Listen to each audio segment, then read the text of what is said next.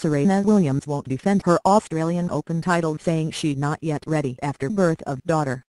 Days after losing her first tennis match since giving birth to her daughter, Serena Williams announced Thursday that she won't be defending her Australian Open title.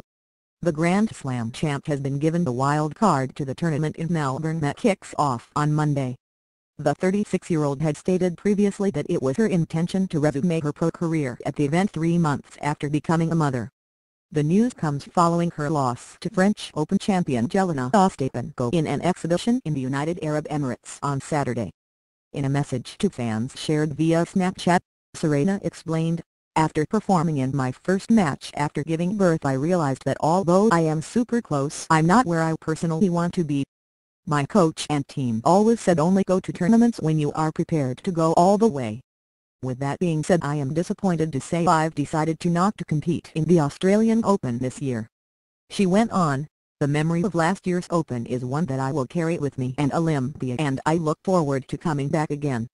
She then said she appreciated the understanding and support of her fans as she takes this decision. Serena won the competition last year when pregnant with her daughter and after taking the title, she took time off to focus on her pregnancy. The tennis pro welcomed her first child Alexis Olympia Ohanian on September 1.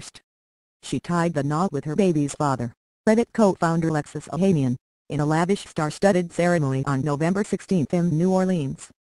Following the her defeat in the exhibition match at the weekend, the tennis star said she wasn't going to raise her performance in the widely anticipated comeback match. I have plenty of comebacks, from injuries, from surgeries, but I've never had a comeback after actually giving birth to a human being, she said. So, in my eyes, I feel it was a wonderful, wonderful match for me. She did admit, however, to thinking about little Olympia during the match. On court, she said, motherhood is phenomenal. I was a little worried out there and I looked at my camp and I was like is Olympia okay? First matches back are always super incredibly hard, especially after having a baby but it was great. I'm glad I could do it here. Serena had struggled with her serve and Ostapenko won 6-2, 3-6 and then 10-5 in a super tiebreaker, but the American still impressed to take a set off the note. 7 ranked Ostapenko after nearly a year away from tennis,